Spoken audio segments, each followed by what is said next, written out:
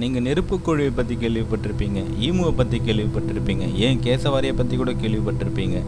மோவை பற்றி கேள்விப்பட்டிருக்கீங்களா? இந்த பறவை நியூசிலாந்தை சேர்ந்த ஒரு பறக்க முடியாத பறவை. இந்த இனம் இப்போ அழிஞ்சிடுச்சு. இந்த பறவை சுமார் பன்னெண்டு அடி உயரமும் இரநூத்தி முப்பது கிலோ எடையோ இருந்திருக்கும்னு சொல்கிறாங்க பாலினீஷியன்ஸ் ஆயிரத்தி முந்நூறாம் வருடங்களில் நியூசிலாண்டில் செட்டில் ஆக ஆரம்பிக்கிறாங்க. அவங்க செட்டில் ஆன நூறு வருஷத்தில் இந்த இனம் அழிக்கப்படுது. அளவுக்கு மிஞ்சி வேட்டையாடி இந்த இனத்தை அழிக்கிறாங்க. இந்த பறவைகள் ஒரு தாவர உண்ணிகள். பாலினேஷன் செட்டில் ஆகிறதுக்கு முன்னாடி இந்த பறவைங்க சுதந்திரமாக தெரிஞ்சிருக்கு. இதில் சுமார் நான்கு இனங்கள் இருந்திருக்குன்னு சொல்கிறாங்க இதில் ரெண்டு இனங்கள் மட்டும் ரொம்ப பெருசாக வளர்ந்துருக்கு. இந்த பறவைகளோட முட்டை சுமார் ஒம்பது இன்ச் நீளமும் ஏழு இன்ச் அகலமும் இருந்திருக்கு. இந்த பறவைங்க இப்போ வாழ்ந்திருந்தால் பார்ப்பதுக்கு ரொம்ப பிரமிப்பாக இருந்திருக்கும்.